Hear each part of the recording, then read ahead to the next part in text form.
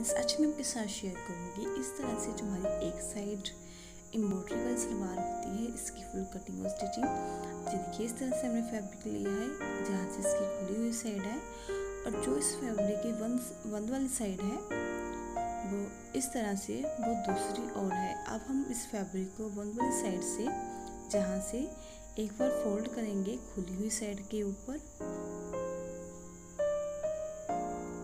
देखिए, इस तरह से हम इसे फोल्ड करेंगे, ऐसे।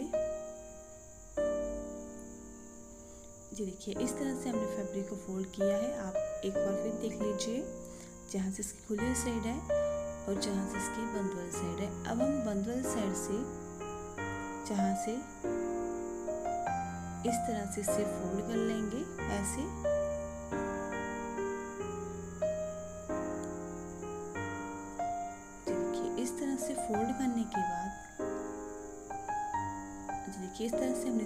कर लिया है।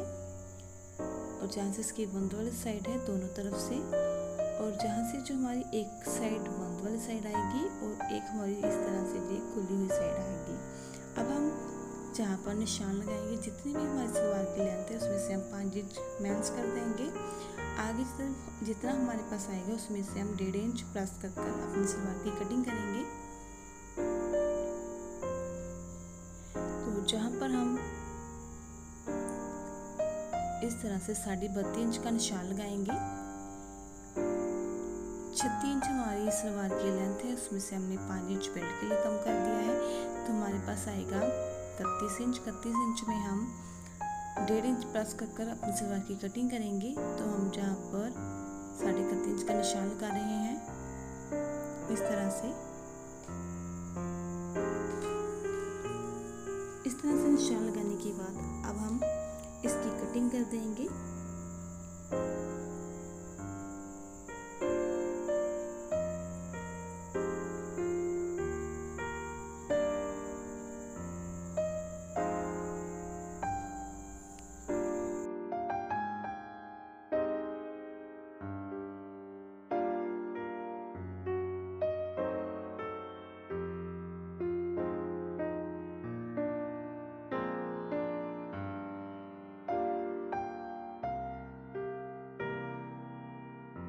जी देखिए, इस तरह से कटिंग करने के बाद अब हम नीचे पोंचे का निशान लगाएँगे। पोंचा हमारे पास साढ़े छः इंच है तो हम साढ़े छः इंच का निशान लगाएँगे।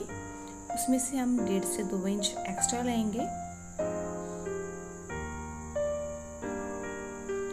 जहाँ पर डेढ़ से दो इंच आप इतना भी, जहाँ पर हम दो इंच एक्स्ट्रा लेंगे। और जहाँ पर हम आंसर रखेंगे चौदह इंच। देखिए, इस तरह से निशान लगाकर इस निशान को हम इस तरह से मैच करते हुए निशान लगाएँगे। ऐसे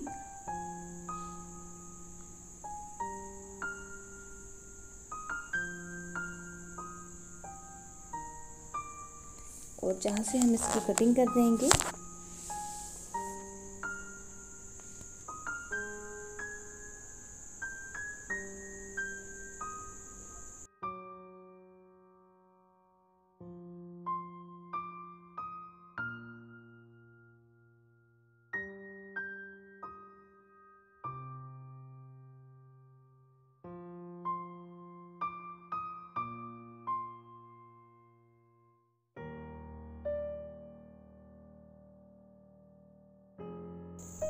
जी देखिए, इस तरह से कटिंग करने के बाद अब हम इस फैब्रिक को ऐसे फोल्ड उल्टी साइड उल्टाते हुए हाफ़ इंच ऊपर रखते हुए इसके आसन कट करेंगे।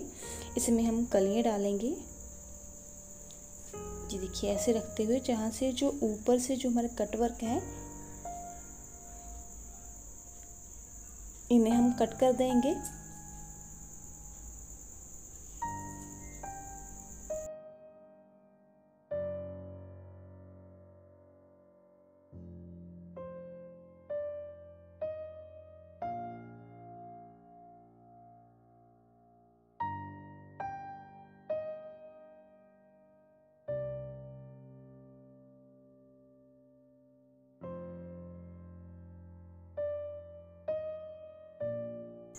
जी देखिए, इस तरह से कट करने के बाद अब हम 10 इंच आसन का निशान लगाएँगे। इस तरह से हाफ़ इंच ऊपर रखते हुए इस तरह से 10 इंच का निशान लगाया है। और इसे हम इस तरह से तेजा कट कर लेंगे। जो हमने निशान लगाया हैं सेम निशानों के ऊपर इसकी कटिंग करेंगे। देखिए, इस तरह से हमने इसे कट कर लिया है। जहाँ से जो हमारी बंद वाली साइड है, इसे भी हम कट कर कर अलग अलग करेंगे। और जहाँ से जो इसकी बंद वाली साइड है, उसे कट करेंगे। जी देखिए, इस तरह से जी, हमारी सलवार की कटिंग हो चुकी है। अब हम इसकी बेल्ट की कटिंग करेंगे, जो ऊपर से हमने एक्स्ट्रा फैब्रिक निकाला है। उसमें से हम अपनी बेल्ट की कटिंग कर लेंगे। इस तरह से इसे फोल्ड कर लेंगे। फोल्ड करने के बाद जितनी भी हमें इसकी बेल्ट चाहिए, उसके अकॉर्डिंग निशान लगाएँगे। देखिए, बीस, बाईस इंच हमारे पास बेल्ट है। ऐसे हाफ़ इंच हमने एक्स्ट्रा लिया है। और जे, जहाँ से आठ इंच है आठ इंच की हमने इस तरह से बेल्ट ली है। अब इसकी हम कटिंग कर लेंगे। साढ़े पाँच इंच छोड़ते हुए बाकी हम नेफी में फोल्ड कर लेंगे और हाफ़ इंच हमारा नीचे प्लेट्स में चला जाएगा। इस तरह से जो हमारी पाँच इंच बेल्ट तैयार रह जाएगी। ये देखिए, इस तरह से हम ऊपर में फोल्ड कर लेंगे इतना सा। और हाफ़ इंच हम नीचे प्लेट्स में डालेंगे। इस तरह से जो हमारी पाँच इंच बेल्ट तैयार रह जाएगी। चलिए, अब हम इसकी स्टिचिंग करते हैं। तो सबसे पहले हम अपनी सलवार के जो आसन है, इन्हें स्टिच करेंगे। इस तरह से अच्छे से सेट कर लेंगे।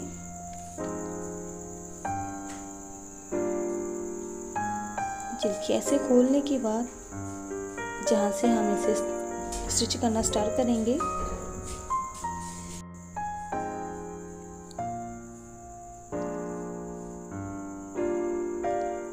देखिए इस तरह से इसके ऊपर रखते हुए इसे हम स्टिच कर लेंगे। ऐसे।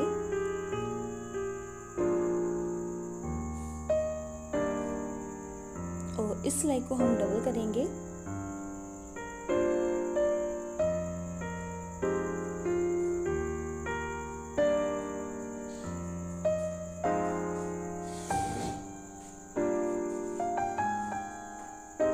देखिए, इसी तरह से हम दूसरी साइड के आसन को भी सेम इसी तरह से स्टिच कर लेंगे। और अच्छे से स्टिच करने के बाद इसकी हम चारों साइड इंटरलॉक ज़रूर करेंगे।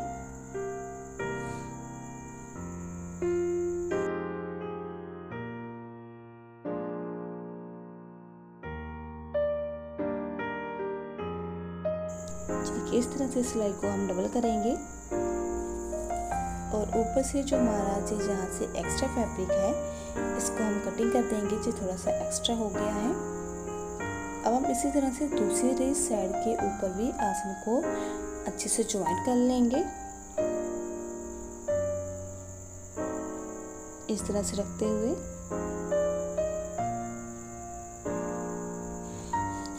बहुत ही ध्यान से स्टिच करना है। कहीं से भी जो हम आसन स्टिच कर रहे हैं ये उल्टे नहीं रहने चाहिए। अच्छे से ध्यान से ही इसे स्टिच कीजिएगा।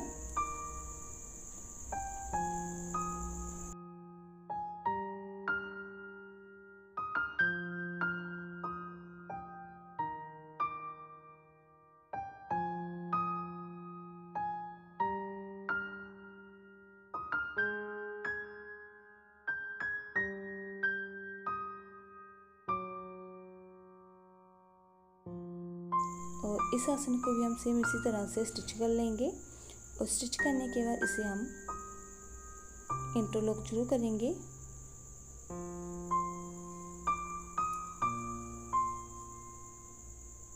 अब इसके हम दूसरी साइड से दूसरे कुंदे के साथ इसके आसन को ज्वाइन करेंगे। देखिए इस तरह से हमने इसे स्टिच कर लिया है।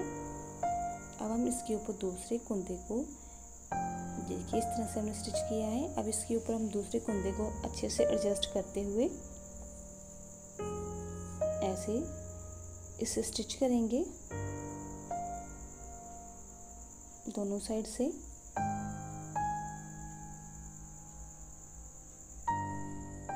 देखिए, इस तरह से रखते हुए दोनों साइड के ऊपर हम सिलाई लगाएँगे। ऐसे। ये देखिए, इस तरह से जो हमारी सिलाई लग चुकी है, इस सिलाई के ऊपर हमने इंटरलॉक भी कर लिया है। अब इसे हम इस तरह से खोलने के बाद इस सलवार में हम प्लेट्स डालेंगे। जैसे हम सिंपल किसी भी सलवार में प्लेट्स डालते हैं, उसी तरह से इस सलवार में हम प्लेट डालेंगे।